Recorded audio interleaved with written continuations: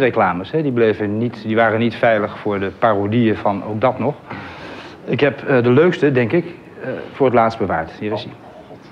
Wat zou een killer nou het lekkerst vinden? Een gewone banaan? Of de banaan in onze vla?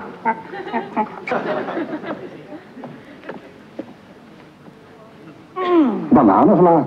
Rechts de banaan, links het pak bananenvla. Een groep onafhankelijke apen doet mee aan een ook dat nog onderzoek. Wat zal de echte kenner kiezen?